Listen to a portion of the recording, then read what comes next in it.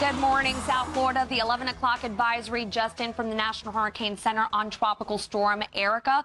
Winds remain at 45 miles per hour. It is moving west at 17, located 285 miles east southeast of Antigua in the Leeward Islands. The latest satellite picture continues to show a better organized Erika with more showers and thunderstorms developing around the center as it approaches the Caribbean islands. Computer model runs are suggesting it will continue to move to the west northwest and be in the vicinity of the Bahamas over the weekend.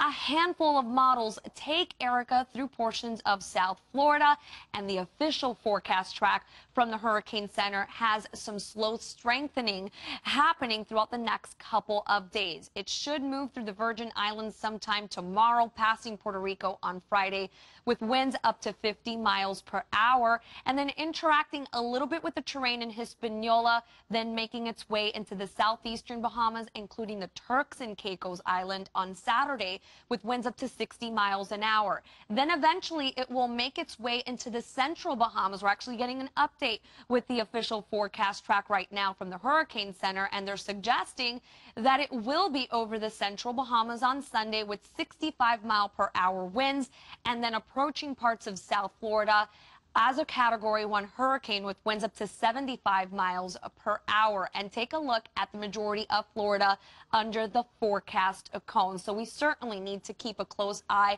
on Erika's every move. It could, if it could survive the dry air ahead in the Caribbean, an area of high wind shear and the terrain over Hispaniola, we will be dealing with a system of some sort, whether a tropical storm or a hurricane early next week. What we do know is that there are new advisories in place for our friends in the Caribbean islands, Puerto Rico, the Virgin Islands, now St. Martin, St. Bartholomew, including parts of Anguilla under a tropical storm warning that extends all the way into Montserrat. Guadeloupe remains under a tropical storm watch. I'll be back with a whole lot more on Erika on 7 News at noon. But for now, I'm going to send things over um, to programming, and I'll be back with more at 11 o'clock.